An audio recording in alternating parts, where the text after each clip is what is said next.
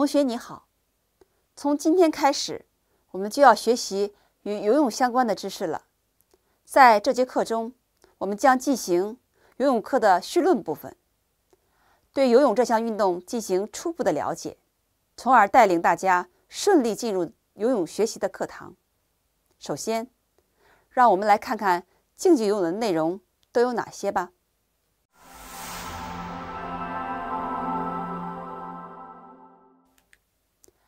竞技游泳是以运动员游进的速度快慢论胜负的比赛项目，它包括出发、途中游、转身和终点触壁技术，以及自由泳、仰泳、蛙泳、蝶泳四种泳式。和由四种泳式组成的混合泳。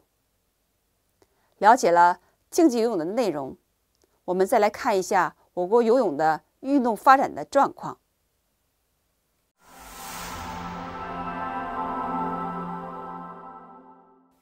我国近代游泳运动是十九世纪中叶由欧美传入并逐渐流行起来的，开始在香港及沿海等地，而后传进内地。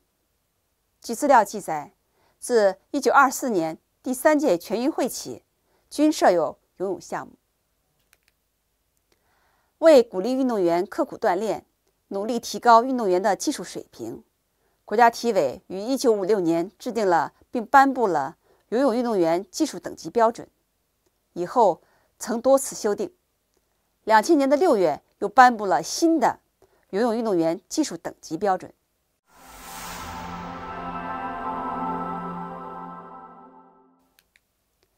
游泳是奥运会的传统项目。接下来，就让我们了解一下奥运会游泳的发展概况吧。一九零八年，在英国伦敦举办了第四届奥运会时，成立了国际业余游泳联合会，审定了各项游泳的世界纪录，并制定了国际游泳比赛规则，规定比赛距离单位统一用米。自由泳设一百米、四百米、一千五百米和四乘两百米的接力。仰泳设一百米，增设蛙泳项目两百米。一九一二年，在瑞典的斯德哥尔摩举行了第五届奥运会，开始把女子游泳列入了比赛的项目。在一九五二年，国际游联决定增设了蝶泳项目。把蛙泳和蝶泳分为两个项目的比赛，从此竞技游泳发展成为了四种泳式。游泳规则随着技术的发展多次进行修改，比赛项目逐渐增加。到1996年第二十六届和2000年第二十七届奥运会时，游泳比赛项目达到了三十二项，游泳已经成为奥运会比赛奖牌数。仅次于田径的大项。为了促进世界游泳的迅速发展，决定在两届奥运会之间增添世界游泳锦标赛，每四年一届。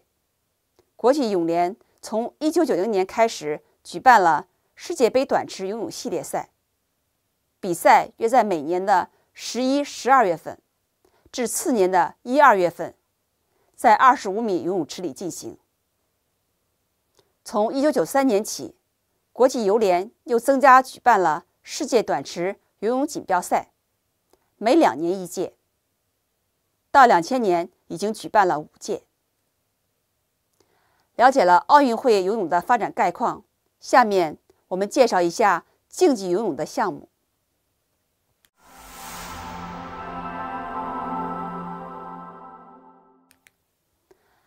比赛必须根据国际泳联颁布的竞赛规则进行，包括自由泳、五十米、一百米、二百米、四百米、八百米和一千五百米；仰泳包括一百米和两百米；蛙泳包括一百米和两百米；个人混合泳包括两百米和四百米；自由泳接力包括四乘一百米和四乘二百米。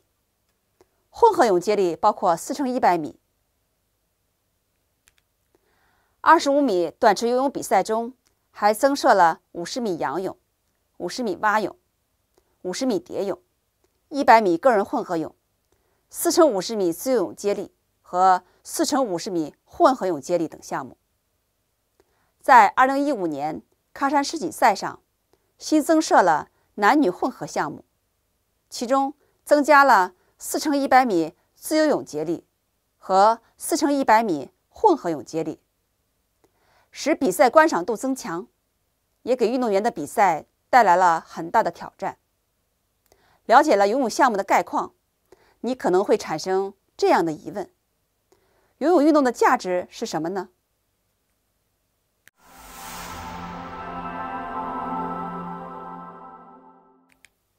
游泳可以帮助我们提高血液循环系统的机能。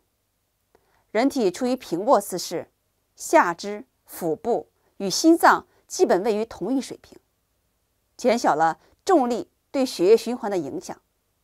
再加上水的挤压作用，有利于下肢及腹部静脉血液的回流，有利于心室充满回心血液。这对于提高心脏的泵血功能是非常重要的。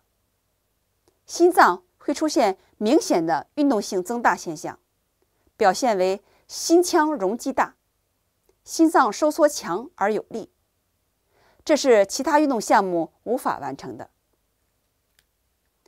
游泳可以帮助我们提高呼吸系统的机能。